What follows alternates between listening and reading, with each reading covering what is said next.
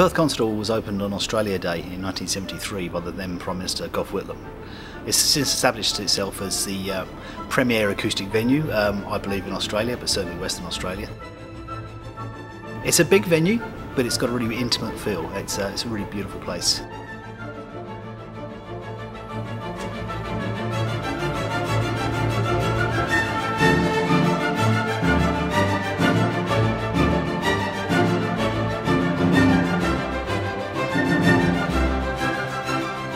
This is the first time a sort of survey of this sort of quality has ever been done on the Perth Hall.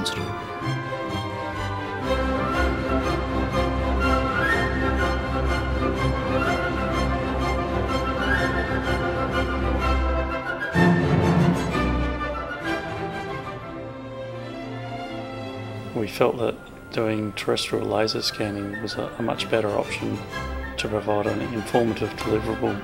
This is the Leica P40 scan station, capable of doing up to a million points per second. We're just going to set up a medium resolution scan and capture colour photography at the same time. The Perth Concert Hall engaged RM Surveys to carry out this work because they demonstrated to us that they could deliver what we basically needed, which was an incredibly accurate and three-dimensional plan of the concert hall.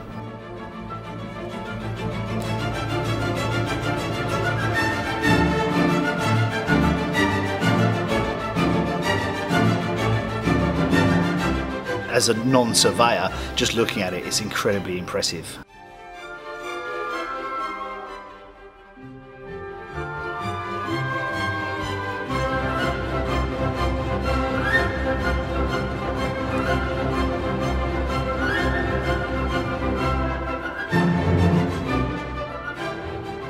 Point cloud data can be delivered in a variety of ways as either a raw point cloud or we can also create a plan view of, of a particular site or we can go right to the high end level of creating Revit models that are BIM compliant and are a full 3D building information model. What's um, particularly exciting for uh, the incoming concert promoters is the ability for lighting designers to use the accurate uh, measurements to produce some stunning lighting and projection results, which we're really excited about. We're also hoping to expand. The West Australian Symphony Orchestra really needs a rehearsal space, and it'd be a great opportunity in the future redevelopment of this building to actually build that space and for them to be able to move off the main stage and into that, that space um, on a more permanent basis.